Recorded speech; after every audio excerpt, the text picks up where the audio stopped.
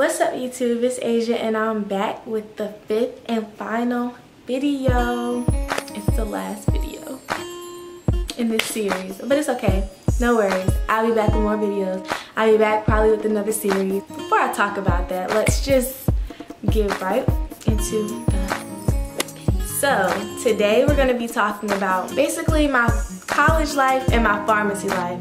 So college plus pharmacy together. How is that for Asia? Um, I was just saying it to my friends like the other day. I was saying like it kind of feels like I live two separate lives. Like when I'm at school, I'm just a full-time, full-blown student. Like I'm just doing work, schoolwork, tests, studying, reading, just all the time, right?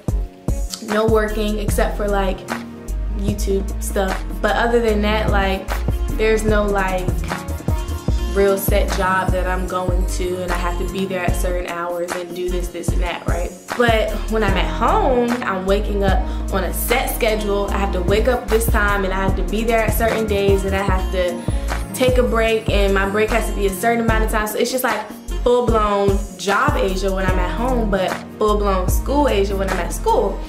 So it's, for me, those two together, it's not really, it doesn't really happen together at the same time. Now, I may pick up some shifts. Like we have an app for my job, so uh, I might get on my phone and I might look, hmm, are there some shifts that opened up this weekend that somebody, you know, they dropped or they wanted to take off this weekend or something. So I might pick those up and go home for the weekend and work just like two days. But while I'm at school, I'm not working like how I, how I am during the summer or how I am during my breaks and stuff like that. I'm very happy that my job is able to work with my schedule um, because I have a very busy schedule and my schedule is like always changing.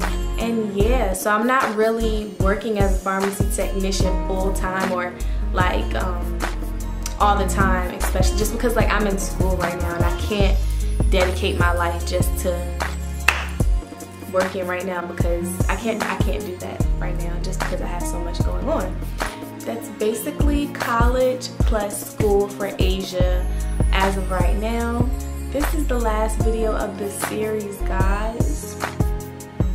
But I am so happy that you made it to the fifth video and you guys are able to come on my journey with me um, to talk about how I was a pharmacy technician starting at the age of 18 and now I'm 21 and now this was my first series. And y'all was able to watch my first series with me. No but I'm excited. I love doing this YouTube stuff so thanks for enjoying this series with me. And I hope that you learned something. And yes y'all I have more in store for you guys. So yes make sure you like comment and subscribe. And I'll be back with more videos. Peace.